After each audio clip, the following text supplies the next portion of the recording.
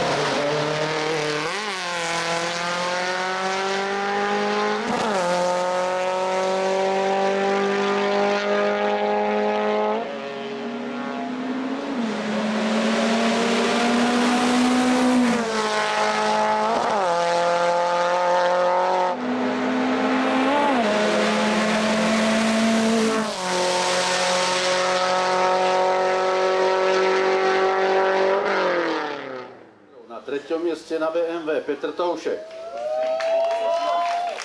Na druhom mieste Volkswagen Golf David Šplíkal.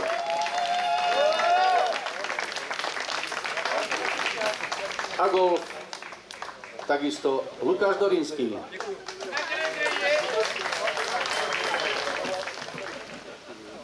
Lukáš Dorinský dnes zamestnával odťahovku a predsa dosiahol na stupeň najvyšší.